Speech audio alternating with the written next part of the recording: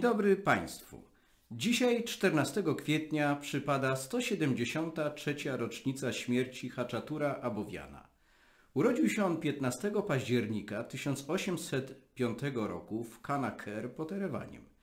Pisarz, pedagog, etnograf, uważany za ojca literatury ormiańskiej za sprawą powieści Werk Hayastani, Rany Armenii, napisanej w 1841 roku i opublikowanej pośmiertnie. Haczatura Bowian walczył o wprowadzenie obowiązkowego powszechnego świeckiego nauczania.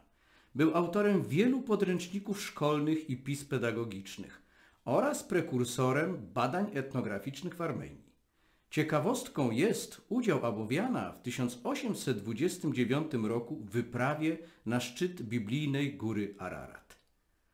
Abowian zmarł 14 kwietnia 1848 roku w tajemniczych okolicznościach. Cześć jego pamięci. Dziękuję Państwu za uwagę.